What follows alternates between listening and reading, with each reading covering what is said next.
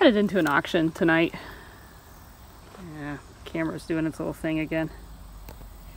This is at Katy Lynn Auction House, and it was a little, uh, kind of a western town that used to be like a dance hall, and they've converted it to an auction house. So we're gonna go in and see what we can find.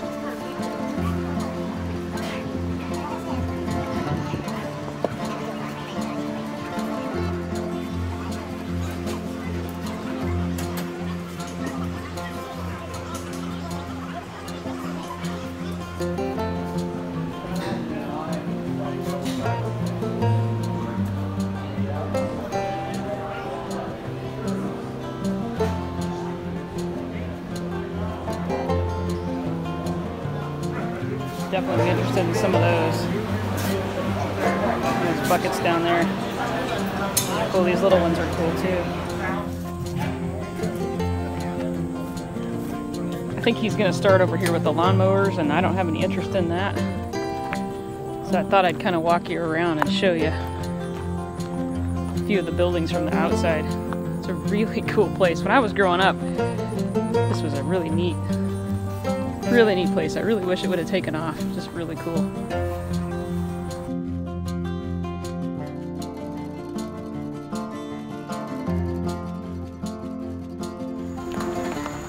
So like I said, it was originally like a little dance barn area.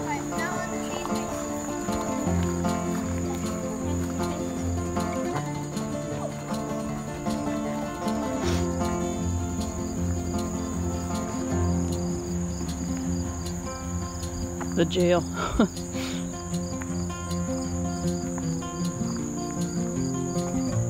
Pretty neat little place, really. I used to drive past this every day when I'd drive to school. That was the road. Right out here's the road I drove on. And I drove a 62 Beetle when I was in junior high, high school. Well, high school. I drive in junior. I drove in junior high, just not to school. Pretty neat place. And they're basically just fronts. I think we can probably walk up to this one.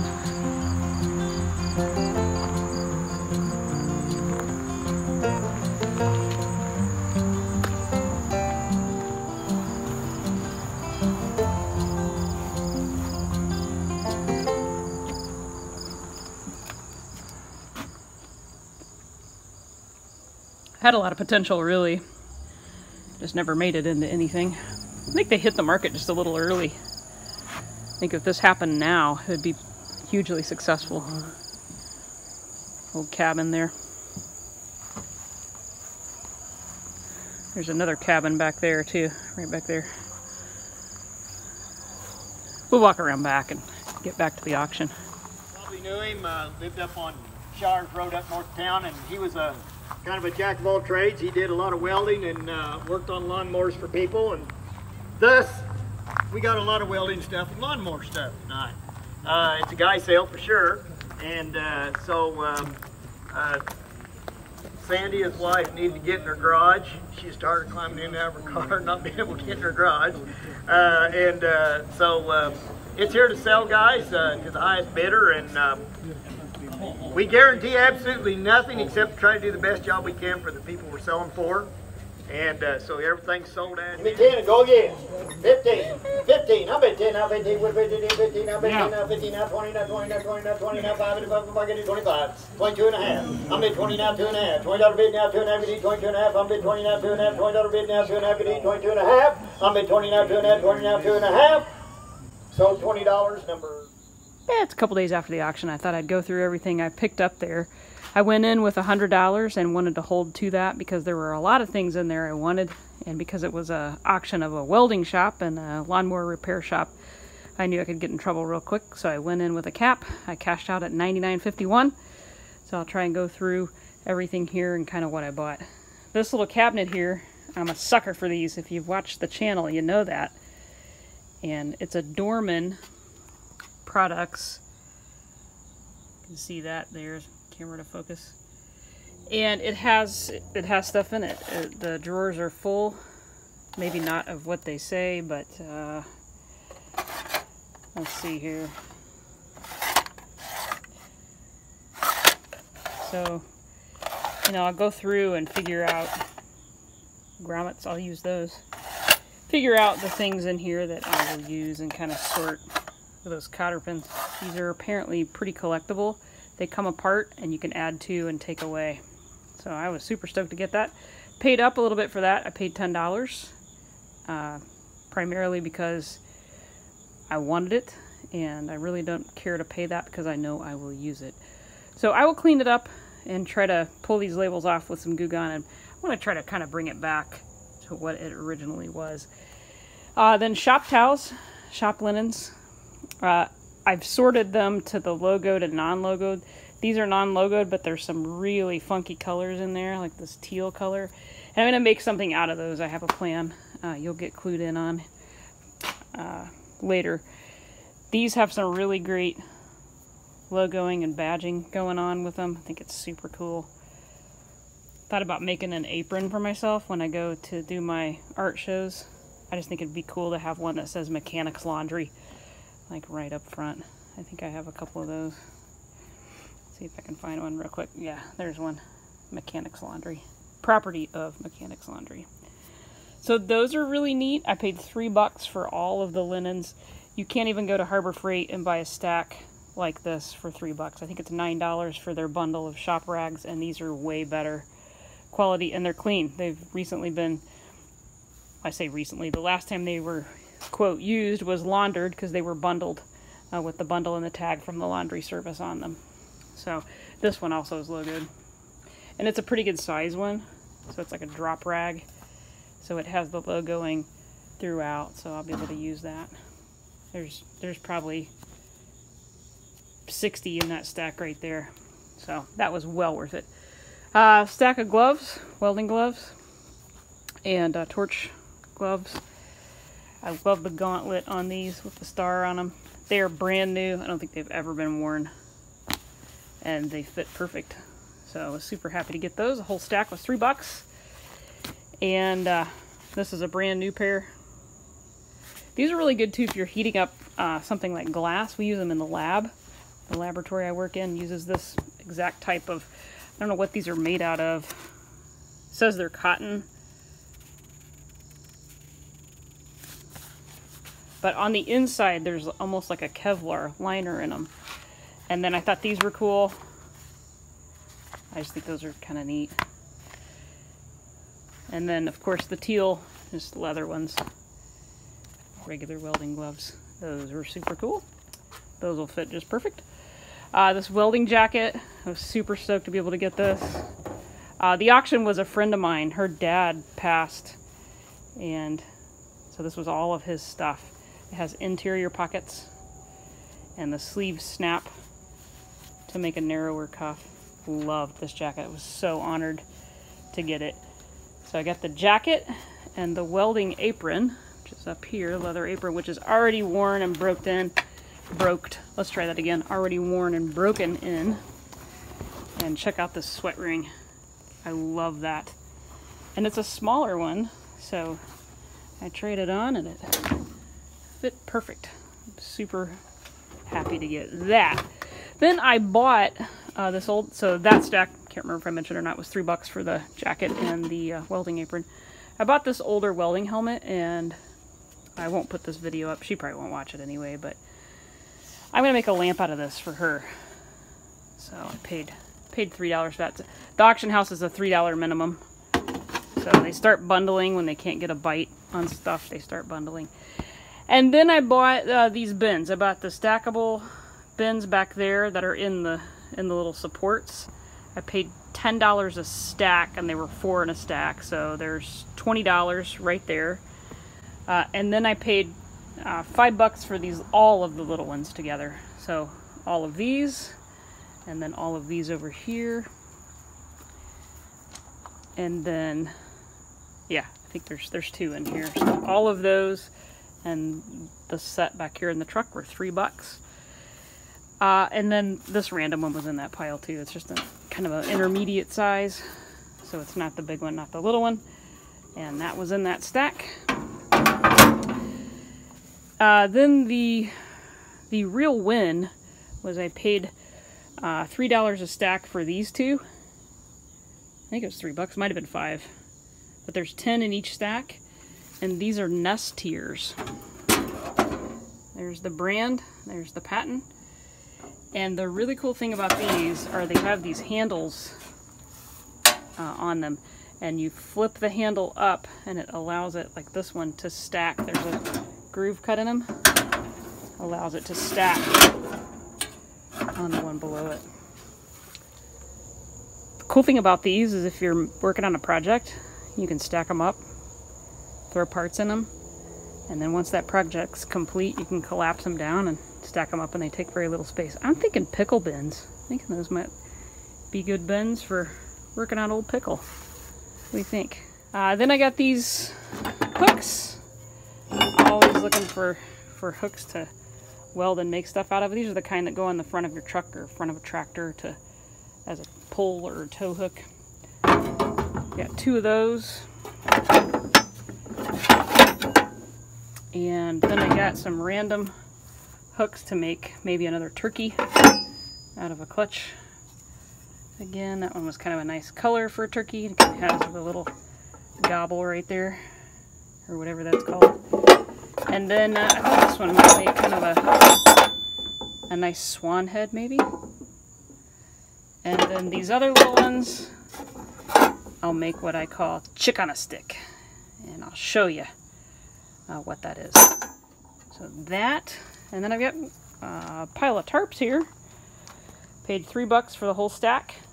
The bottom one, the kind of grayish colored one, is off of a semi, I think. It's cut in half. But the real win was this uh, canvas one. Canvas tarps are really expensive. So I use these to make uh, vintage looking tool rolls and different things.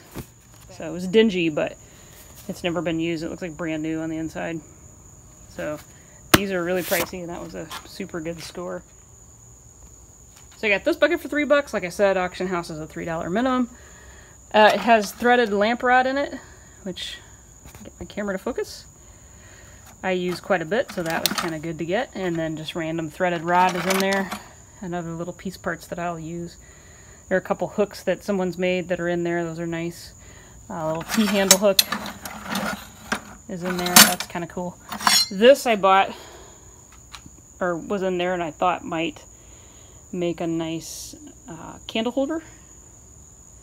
Like I said, I, I do artwork, so I was thinking make that where the candle goes and then kind of bring this part up and curve it around. I think that might make a nice piece. And then this one, I plan, I have a plan for this guy. I'm going to make a mantle clock style sailboat out of that. So stay tuned for that because that's going to be pretty neat, I think. Uh, yeah, just randomness in this bucket down here. There's some larger uh, threaded rod and different things in there. So I will use every bit of that. Certainly don't care to drop three bucks on that. Okay. Oh, I forgot to mention the toolbox. Toolbox. My grandpa always used these these rulers. Uh, Falls City beer. Yeah.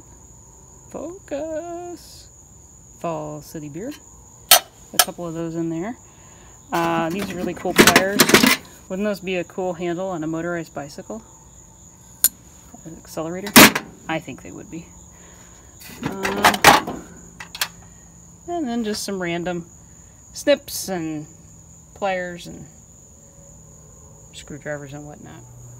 Just thought I'd let you know everything I got for 100 bucks and we'll catch you on the next one.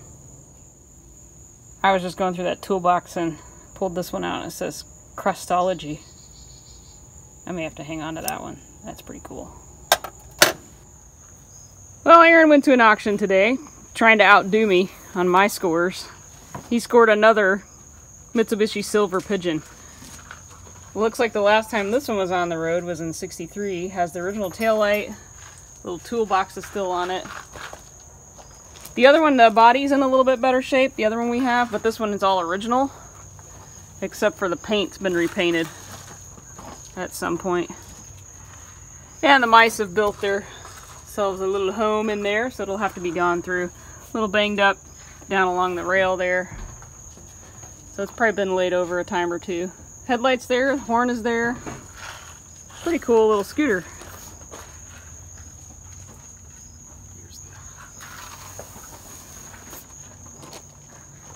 There's the seat on it. This one has the gas tank and the original engine. The last one I bought didn't. And then he scored uh, this little cooler for Dad. And then a oil can for me to make a lamp out of. Yep, gonna poke holes in it, everybody. Get them cheap enough. I'm poking holes in them. That one I can already, I can just run my lamp cord. Actually, I kind of like that. I don't know that I'll run a lamp cord through that or not. It looks pretty cool. And then this one was at the bottom of a $5 box. The Rochester Monojet. This is what is actually in uh, my Series 2 Land Rover. So that was a good score on that guy. Uh, Marathon outboard motor oil. I saw this in the auction preview and had him grab it if he could get it cheap enough. I wanted that for myself because it says Marathon on it. And then just other odds and ends. 50 bucks. Some gauges and different things off of a car. I don't know what car. There's some Mopar stuff in there. Uh, there's a set of points in the original box, which is pretty cool. What those are out of, but and then the remaining odds and ends here: metal detector, minnow bucket. So, not all at all a bad haul. Oh yeah, they've got this little six foot volt vintage light. Uh, this I will put to good use. Gel coat repair kit. Uh, and gas pump handle. Make a light or something out of that. So that's kind of cool. The Shark Turbo hand vac. And the scooter has the original uh, certificate of registration with it so it can be titled, which that's pretty cool. And the manual, uh, I think it's in here. Right there. Owner's manual for it. So that's pretty awesome, especially since we have two of these. This one's a year newer than the other one I have. It's a 59. 59. C76. The other one's a 58. This thing's been ridden too, because that rear tire is just about bald. Has And 50, it's pretty cruddy on it, 5,500. on the inside. And this little guy was in there. It looks like he's missing a set of wheels, but we probably got enough piece parts to put him back together. Kind of a neat, kind of a neat little toy.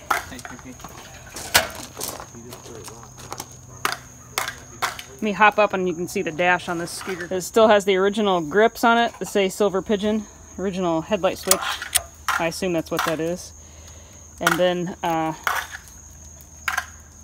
the original ignition. And it looks like there's your mileage on the odometer. This might be the horn or maybe a kill switch on off because I think this is probably your headlight.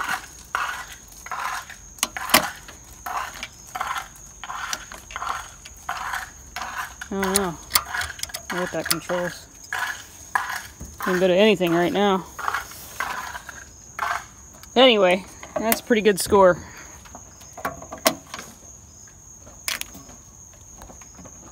Hydromatic. Just pull the key out and the key even says silver pigeon on it. Wish the other one had all that original stuff. Sad thing is we paid the same price for both of them, basically. That's what auctions are about. Nice thing about having this one have the door. Mine's missing this, or the other one. It's not necessarily mine, but the other one we have is missing that, so I'll be able to build that now. and another pile of random tools, uh, mostly C-clamps. So we'll put those to use. Good score on that.